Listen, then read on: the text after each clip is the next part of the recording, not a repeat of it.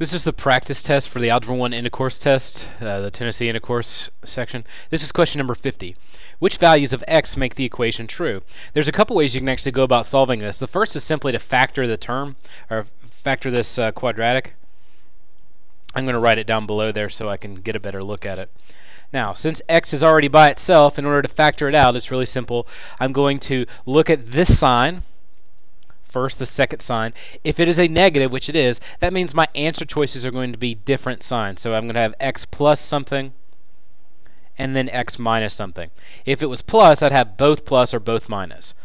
Now, once they're, I know that they're different, that means when I make my factor list for 12 there, I'm going to subtract those factors. So my factor lists are 1 and 12. 2 and 6, and 3 and 4. Those are all my factor lists for 12. I'm going to try to find this plus, uh, 1x. So what I'm going to look for is what can I subtract to make positive 1? Well, 1 minus 12 gives me negative 11. 2 minus 6 gives me negative 4. 3 minus 4 gives me negative 1. But if I go the opposite way, 3 mi uh, 4 minus 3 does give me that positive 1 I'm looking for. And because I know that 4 minus 3 equals 1, I'm going to put that minus, or the 3 right after the minus. And the 4 right there. So that would work it back out, and you could check it too. So x times x is x squared, plus 4x minus 3x, 4 minus 3, there's that 1 that I'm looking for. So that works, it all works perfect. Now I just set each one of these equal to 0. And to get rid of minus 3, I'm going to add 3.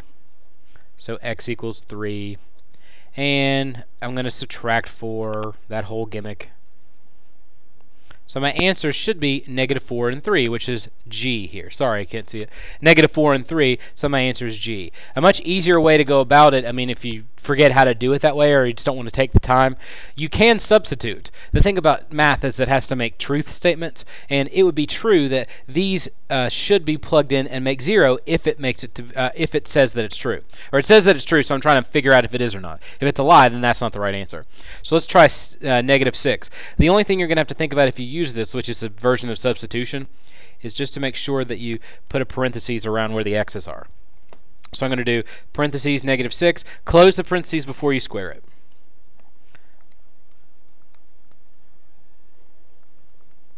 See how it makes 18? That means it's not 0, which is what it needs to be to make it true. So that's out. So let's try our actual answer choices.